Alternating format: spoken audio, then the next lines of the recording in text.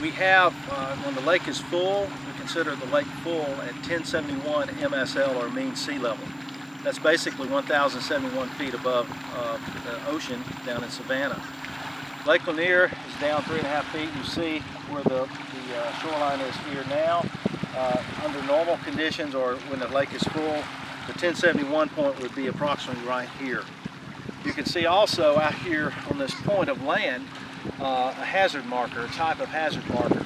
Uh, typically when the lake would be uh, three and a half feet higher, most if not all of that area would be underwater. Well, from what I understand, we're in a drought. And whenever we have a drought, it affects our whole system. Lake Lanier is part of a bigger picture, a bigger watershed system that, you know, what we do here affects what's happening downstream.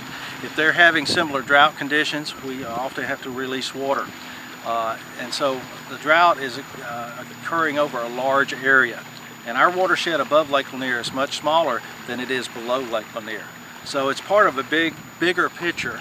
And I would recommend anyone, if they want to know more about uh, Lake Lanier and its uh, association with the Chattahoochee uh, River and those watersheds below us, to go to our website and learn about it because it affects everything we do.